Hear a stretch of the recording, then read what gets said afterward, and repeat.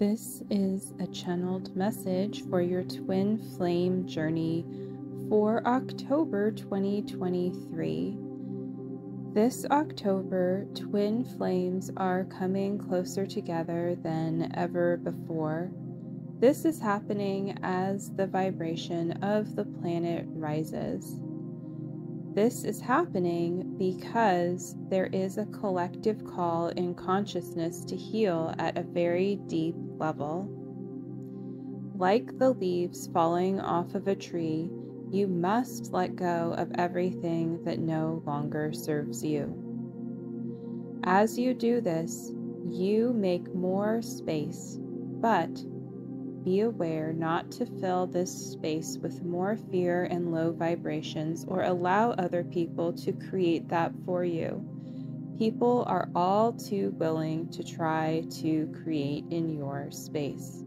So have healthy boundaries for your love for you and your twin flame, no matter if you find yourself with your twin flame right now or not, or whatever your situation is with your beloved twin flame, keep the flame alive within. And that is akin to a flower blooming, to fresh leaves that are on their way to forming, to a tree that is growing. This is your union and it is eternal, like the tree of life.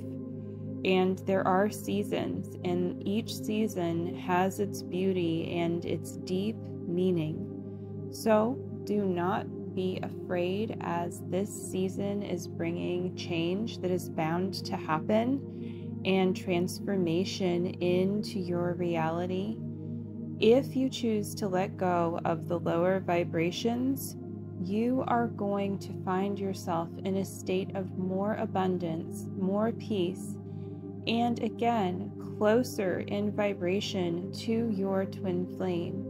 You're already always vibrating the same, but any dissonance that's in between you is what's keeping you in this illusion of separation. So it is important to clear that. Let love light your path